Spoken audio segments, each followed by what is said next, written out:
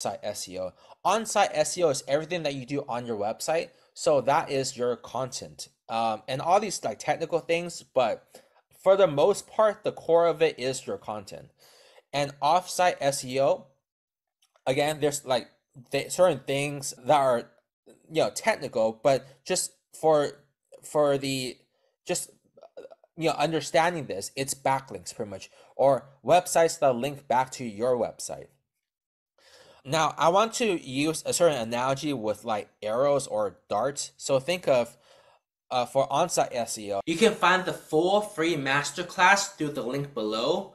If you found this helpful, please show your support by liking and subscribing. Let's stay connected on LinkedIn and Twitter. You can find my social handles below. Don't forget, I host a free Discord community called Codepreneurs designed for coders, freelancers, agency owners, SaaS founders, and entrepreneurs. There, you will have direct access to me and you can ask me anything. Thank you for your time and thank you for watching.